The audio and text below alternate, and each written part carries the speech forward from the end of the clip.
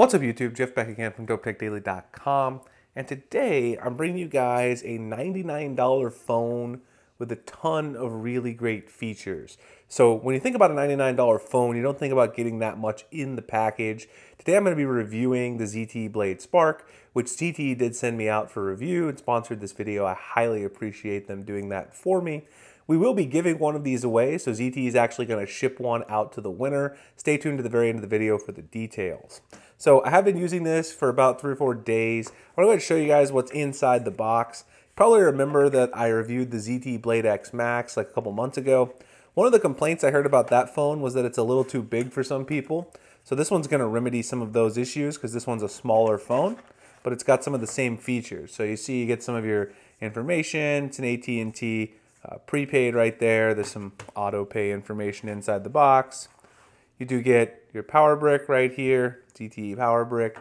And one of the best features of this phone, just like the ZTE Blade X Max, is you get USB Type-C in a $99 phone. Now that's pretty crazy. Most of the flagships and of course even the mid-range phones are moving to USB Type-C, but you don't necessarily see that in these lower tier phones. And you get a SIM tool which is nice, and add that one to the collection. All right, so let's go ahead and put the box to the side and talk about the main attraction. So like I said, this phone is similar in a lot of ways to the Blade X Max that I reviewed earlier this year. So if you were interested in that phone um, and you wanted to get one, but you thought it was a little too big, it was six inches on the screen size. This is a 5.5 inch phone, so it's gonna be more manageable. This one's easily one-handed for me. I can go one-handed, no problem at all. Let me point out some of the really good features here that you've got. On the back here, you've got a soft touch back, so this is not going to get scratched up. That was one of my complaints with the ZTE Blade X Max. It had a glossy blue back, which looked really nice, but it did get scratched up a little bit in my use. This one, no problems. You're not going to see any scratches from this if you sit it down on your dash or sit it down on your table at work.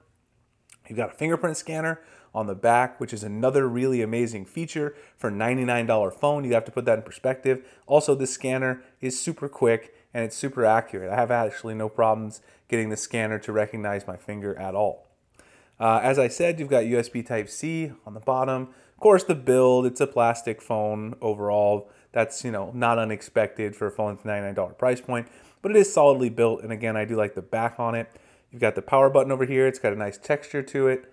Uh, the volume rocker right there as well. You've got your SIM card slot over here. Also, you got a micro SD slot there, so you can expand your storage up to 128 gigabytes, I do believe. Headphone jack right there on the top. Now, a couple of things that you might have to be concerned about, and let me talk about each of them in turn. The first one, whenever I talk about a budget phone, people always ask about the performance. Now, this phone does have the Snapdragon 425 and 2 gigs of RAM.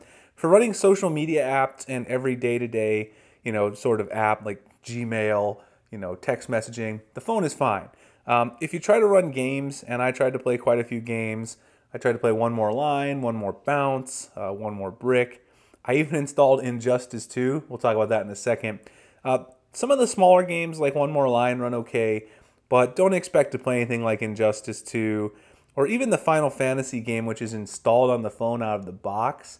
Um, doesn't necessarily run all that great, but that's not unexpected with the Snapdragon 425. You're going to see some drop frames. So if you're a casual gamer, that's fine. Um, one other reason that you won't be doing any heavy gaming on this phone uh, is that the internal storage is actually very limited.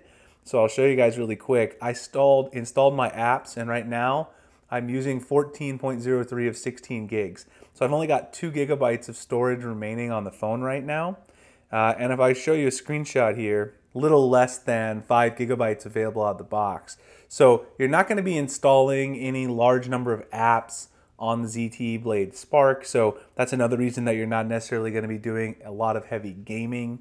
But again, for casual use, it's not that bad. The two gigs of RAM, uh, obviously, if you're going to do a bunch of multitasking, that could be a problem. But for just running a few social media apps, your Gmail, your text messaging, I haven't had any problems whatsoever.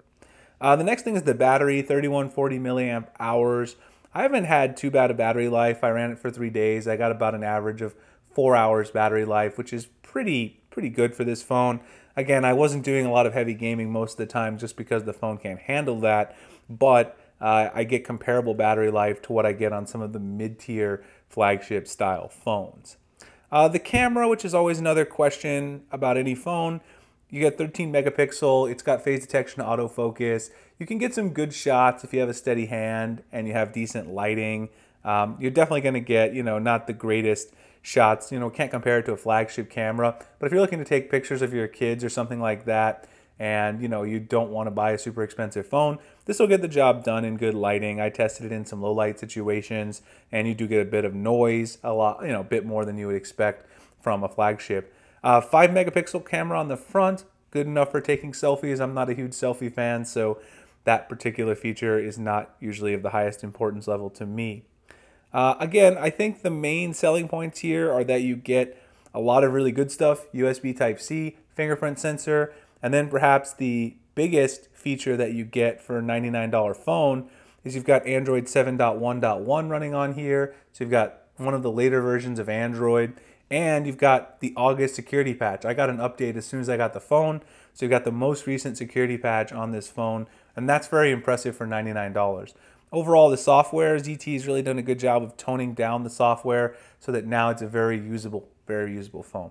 So overall, I think if you want a phone for 99 bucks for your kids, for a backup, or if you're just the kind of person who doesn't care about having a flagship, this is definitely a good phone to go with. The downsides are you're definitely going to need a micro SD card for your photos and your media uh, because you're going to fill up the apps. You can go through and install some of this, uninstall some of the bloatware that's installed here out of the box. Highly recommend that if you don't use it. Uh, I left it there so I could show you guys exactly how many gigabytes are taken up. All right, so we are going to give away one of these ZTE Blade Sparks. Uh, if you want to win this, all you need to do is uh, drop a comment below and then leave your Twitter name and then go over and follow Dope Tech Deals, which is my deals account on Twitter. I'll drop the link below with those instructions as well. You guys can find me at dopetechdaily.com, Google Plus, Instagram, and Twitter at the links in the description. Really appreciate you guys checking out the video. Please like and subscribe if you enjoy it so I can make future videos like this. And I'll see you in the next one. Thanks a lot for watching.